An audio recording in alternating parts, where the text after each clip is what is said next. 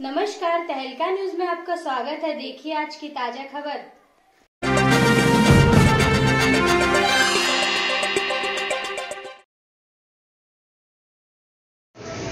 मऊ नगर के भरहूपुरा इलाके में उस समय सनसनी मच गई, जब एक दोस्त ने ही दोस्त को चाकू मार के उसकी जान ले ली। जी हाँ आप देख रहे हैं तलका न्यूज़ और मैं हूँ विनय ज्ञान चंद्र।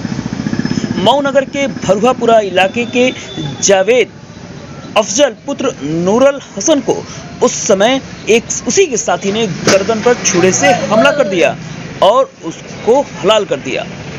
जावेद को घायल हाल में अस्पताल लेकर पहुँच गए, लेकिन सूचना के मुताबिक जावेद की मृत्यु हो गई। हत्यारे का नाम पहलवान पुत्र इस्तियाक बताया जा रहा है। वहीं मौके पर अपर पुलिस अधीक्षक समेत पूरा पुलिस अमला हॉस्पिटल में मौजूद रहा। सड़क पे लाल रंग दिखा हुआ यह खून आपको दिख सकता है और वहीं पूरे इलाके में सनसनी मच गई है। देखिए थलका न्यूज़ की एक रिपोर्ट।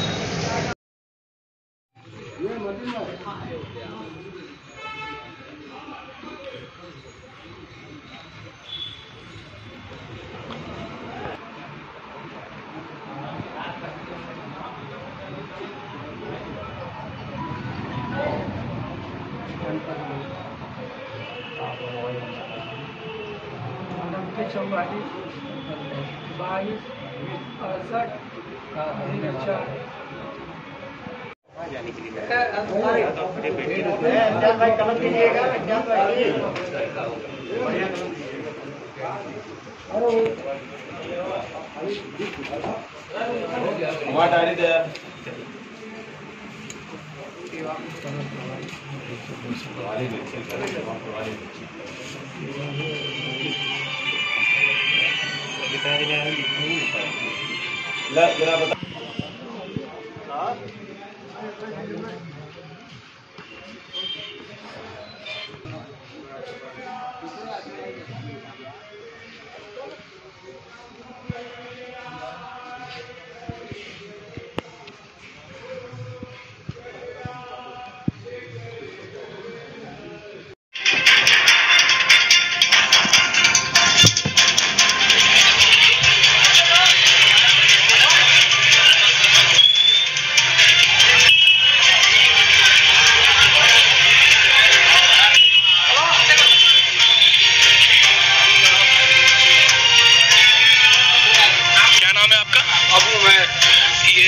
जिनकी अभी जिनके साथ घटना घटित हुई है क्या मामला है पूरा बताएँ? मामला क्या था क्या नहीं ये नहीं मालूम है। हाँ। अचानक से ये सुनने में आया कि बगल में उनके मिस्टर नाम का लड़का था। भाई छूला मार दिया है गर्दन हाँ किसको चूरा मारा? है जावेद। अच्छा। उनके पिताजी का क्या नाम? नूरुल हसन और जो मतलब मरा हुआ है उनके पिताजी का क्या नाम? स्वर्गीय इश्तियाक। स्वर्गीय इश्तियाक। तो क्यों आखिर हमला किया गया और कितने लोग थे? यही तो नहीं मालूम। अब जो देखे हैं जो लोग वो नहीं बता रहे हैं क्या है क्या नहीं। एक छुरिया चली है कि कई छुरिया चली खून देखने से तो लग रहा है कि कई बार हमला हुआ है। यहाँ पे वारदात हुई है खून बहुत ज़्यादा वहाँ पे जिनके साथ घटना हुई है उनकी क्या स्थिति है? स्थिति बहुत गंभीर है। आज कहा नहीं जा सकता। अच्छा आपके कौन है? ये रिश्ते में अंकल है। अच्छा कहाँ पे ये घटना घटित हुई? है ये भरऊपुरा मैदान में और ये कहाँ के रहने वाले हैं जिन्होंने घटना को अंजाम दिया और जिनके साथ घटना घटी? भरऊपुरा के दोनों। हाँ मोबाइल पीछे कर रहा है जरा। पीछे